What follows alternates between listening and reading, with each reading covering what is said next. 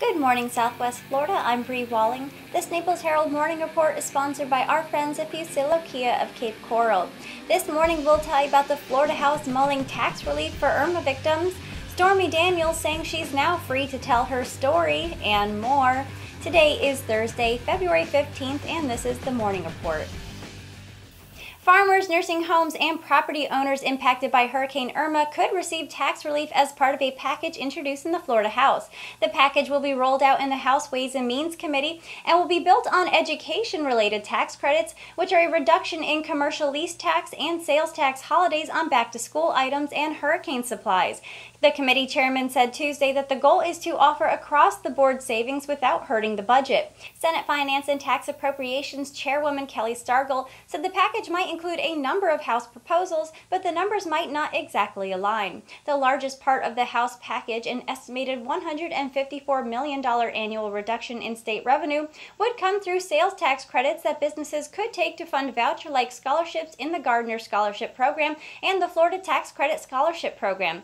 The House is also proposing an 18% reduction on civil penalties for non criminal traffic infractions if motorists attend driver improvement school. Stormy Daniels, the porn star whom President Trump's personal attorney acknowledged paying $130,000 just before Election Day, believes she is now free to discuss her alleged sexual encounter with Trump. Daniels, whose real name is Stephanie Clifford, believes that Trump's attorney Michael Cohen invalidated a non disclosure agreement after two news stories were published Tuesday. One in which Cohen told the New York Times that he made the six figure payment with his personal funds, and another in the Daily Beast, which reported that Cohen was shopping a book proposal that would touch on Daniels. Daniels' story. Daniels first detailed her account of an alleged extramarital affair with Trump in 2011 when the celebrity website The Dirty published it but then removed the material under the threat of a lawsuit. Her story then remained largely out of public view until a month before the 2016 presidential election when another news outlet published her account. At issue is what transpired inside a Lake Tahoe, Nevada hotel room in 2006 between the actress and Trump a year into his marriage with his third wife, Melania. In recent weeks, the actress played coy, declining to elaborate on the story, but Clifford's lawyer says she will soon announce how and when she will tell her story publicly.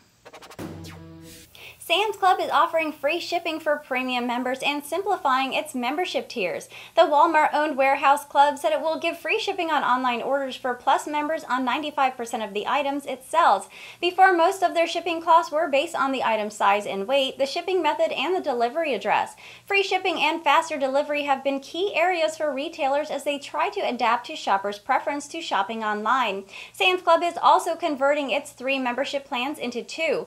Sam's Plus will still carry a $100 annual fee, while the business and saving plans will convert to Sam's Club memberships with an annual fee of $45. The company is trying to better compete with their rival Costco by focusing on the more affluent customer. It's added more fresh produce and other high quality products. Last month, Sam's Club started closing 63 U.S. clubs and said it would convert up to a dozen of them to e commerce fulfillment centers so it can be faster with deliveries. The idea is to get the fulfillment center closer to the customers. That was the morning report for today. I'm Bri Walling. The morning report airs Monday through Friday at 9 a.m. right here at naplesherald.com. And don't forget to check out our lunch break that also airs Monday through Friday at 12 p.m. Thank you for watching.